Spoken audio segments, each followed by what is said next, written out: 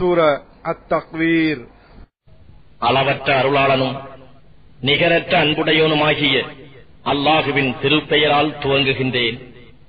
சூரியன் ஒளி இல்லாததாக சுருட்டப்படும் போது நட்சத்திரங்கள் ஒளி இழந்து உதிர்ந்து விழும்போது மலைகள் பெயர்த்து பெயர்க்கப்படும் போது சூழ் நிறைந்த ஒட்டகைகள் கவனிப்பாரற்று விடப்படும் போது காட்டு மிருகங்கள் மனிதர்களுடனும் இதர பிராணிகளுடனும் ஒன்று சேர்க்கப்படும் போது கடல்கள் கொதித்து கொந்தளித்து பற்றி எரியும் போது உயிர்கள் ஒன்றிணைக்கப்படும் போது உயிருடன் புதைக்கப்பட்ட பெண் குழந்தை வினவப்படும் போது எந்த குற்றத்திற்காக அது கொல்லப்பட்டது என்று பட்டோலைகள் விரிக்கப்படும் போது வானம் அகற்றப்படும் போது நரகம் கொழுந்துவிட்டு எரியுமாறு செய்யப்படும் போது சொர்க்கம் சமீபமாக கொண்டு வரப்படும் போது ஒவ்வொரு ஆத்மாவும் தான் கொண்டு வந்ததை அறிந்து கொள்ளும்.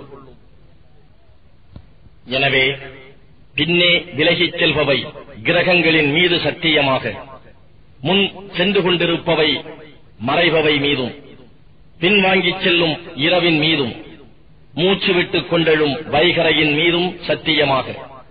நிச்சயமாக இக்குரான் மிகவும் கண்ணியமிக்க ஒரு தூதுவர் ஜிப்ரையில் மூலம் வந்த சொல்லாகும்.